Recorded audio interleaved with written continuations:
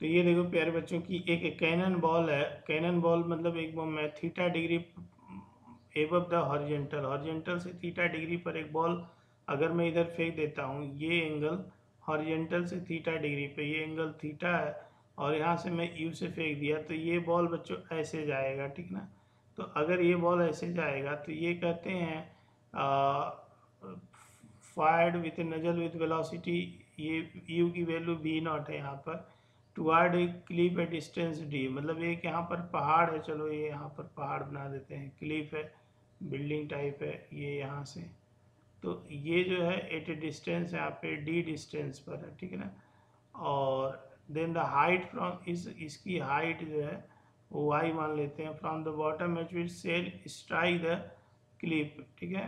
तो ये कहता है the highest height from the bottom at which shell strike the side wall of the cliff तो ये जो हाइट है, ये इस हाइट की वैल्यू पूछ रहा है, ए वाई है, इसको एच मान लेता हूँ मैं। ठीक है?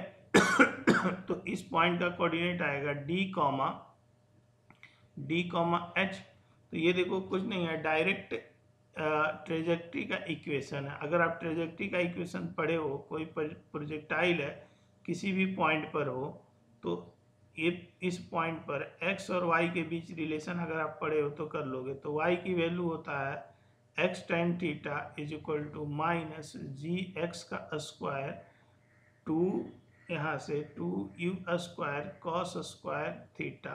ठीक है? अब यहाँ इसका यूज़ करो। y जो है हाइट यहाँ और x जो है यहाँ d हो जाएगा और यहाँ टेन थीटा हो जाएगा यहाँ से और तुम यहाँ देखोगे तो माइनस जी एक्स की वैल्यू मतलब डी का स्क्वायर डिवाइडेड बाई टू यहाँ b naught square cos square theta. तो डायरेक्ट फार्मूला बेस्ड क्वेश्चन था, ये इसकी बिल्डिंग की हाइट आ जाएगी। तो डी डी टेन थीटा मतलब ये सही नहीं है, ये सही नहीं है। D tan theta minus g two b square, ये वाला ऑप्शन अपना सही है, ठीक है ना?